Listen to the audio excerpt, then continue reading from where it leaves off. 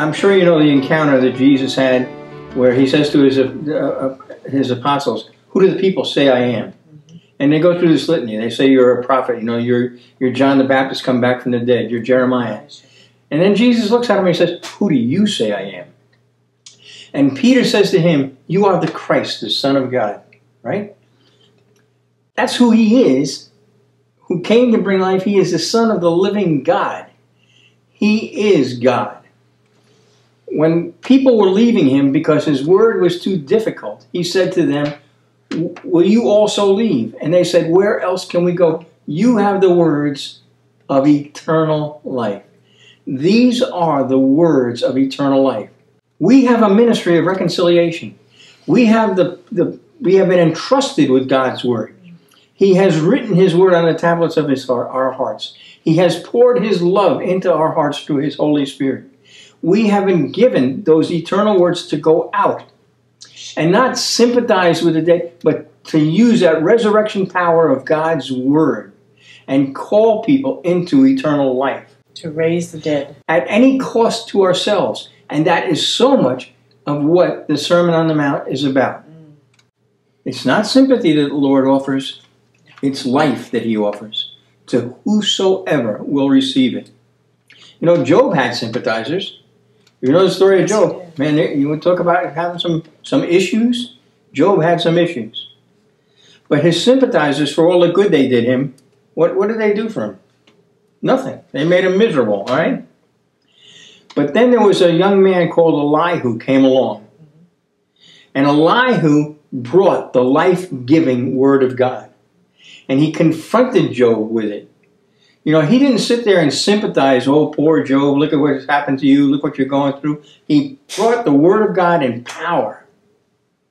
And after that, that brought, all of a sudden, now you see God Himself having a conversation with Job.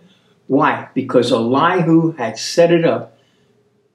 You know, you can go out and talk to somebody about, about the Lord.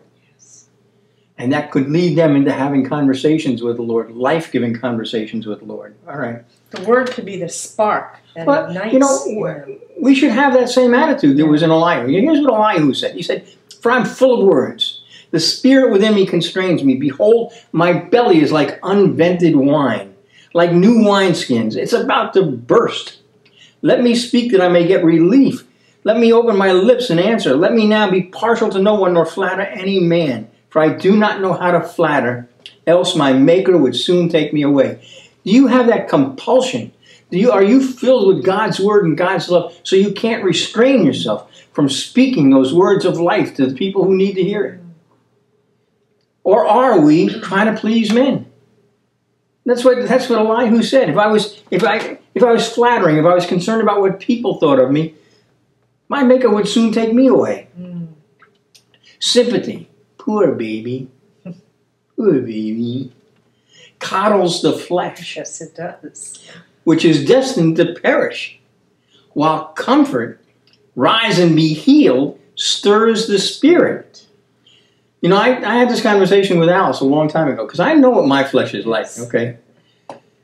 Hallelujah for the strength of the Spirit of God within me. But my from from many years of being unsaved, I knew, you know, if I don't, if I wake up in the morning, I don't feel good. I want to lay there in bed and I to say, oh, I want Alice to come up to me and say, oh, poor baby, you want some hot chocolate. That's what that's what my flesh likes, you know. I, that's that that sympathy. And I told her, here's the deal. If I do that, I want you to come up to me. Look at me with those loving eyes. And I want you to say to me, rise and be healed in the name of Jesus because that's what I need to hear. Right. I don't need sympathy. I need the comfort of God's word, the power of God's word in my life. Mm-hmm. And so do you, and so does everybody else out there. Thank you, Lord. Mm. Why do you seek the living among the dead? Jesus, when he was on the way, and we talked about this a little bit last week, when he was on the way to the tomb to call Lazarus, mm-hmm. right? Yes, yes. And he encountered Martha, Lazarus' sister. He said to her, Jesus said to her, I am the resurrection and the life. He who believes in me will live even if he dies. John 11, 25. You have if you have accepted Jesus Christ as your Lord and Savior, if you haven't, you know what? Do it Turn, now. turn this thing off. Take a break. Take a break. Turn this off. Go get on your face before God Amen. And cry out to receive that wonderful gift of eternal life that He sent His Son Jesus to go to the cross in your place to give you. God's love above the heavens. God's love deeper than the sea.